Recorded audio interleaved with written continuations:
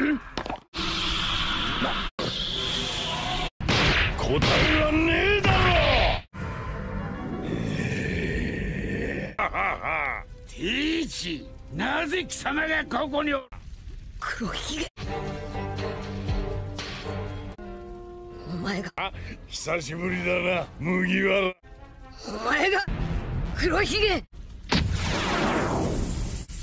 ジェット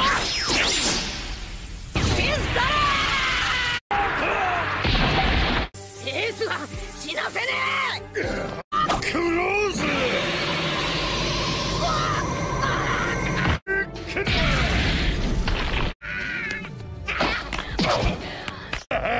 何が起こったかわからねえって面だな。おめえの兄貴エースもそうだった。それがなんだって。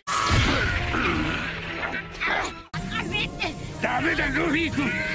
何が先だ白ひげの親父さんの船にいた頃からこいつは得体の知れん男じゃった。時間も体力もここで無駄にするな。想像以上に強えな。マゼランとうとう現れたか。俺は必ずエースを助ける。この世に不可能ということは何一つねえからな。